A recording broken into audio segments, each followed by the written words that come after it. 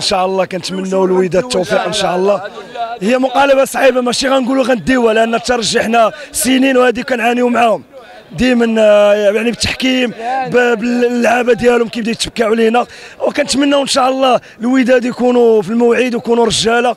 وشوفوا الجمهور راه كيساندهم وعرفوا أن راه عندنا جمهور ودادي كيحب الفريق ويترجلوا ويجيبوا لنا نتيجة إن شاء الله ويجيبوا لنا الكوب. هادشي اللي كنتمنى ونتيجة واحد واحد كتبقى نتيجة كما كيعرف الجميع أنها مخيبة شوية ولكن الحمد لله على أي حال أحسن من من الهزيمة وإن شاء الله في مباراة الإياب يكون إن شاء الله الخير إن شاء الله. المقابلة النهائية كان طابع عليها الجانب التكتيكي أكثر من الجانب الفني ديالها وهذو هما المباريات اللي تيتلعبوا ما بين الفرق ديال شمال إفريقيا.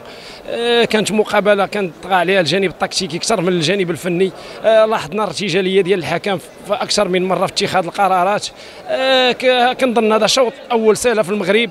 إن شاء الله باقي الشوط الثاني وعندنا كامل الحظوظ باش ندافعوا على الحظوظ ديالنا نتيجه الواحد الواحد ما خايباش آه، قدر الله ما شاء فعل. مازال المباراة ديال الأياب 90 دقيقة في تونس وعندنا الثقة الكاملة في العناصر ديال فريق الوداد إن شاء الله باش نجلبوا اللقب من الديار التونسية بحول الله. هي نتيجة مخيبة لأنه وضعنا في بيوتها هذا الفار هذا اللي ظلمنا في الحقيقة والمهم مقابلة اش غنقول لك؟ هو النقاش خصي كان خصو يخرج. première mi-temps ال arbitre كان خصو يخرج النقاش عنده صفراء النقاش كيلعب صحيح.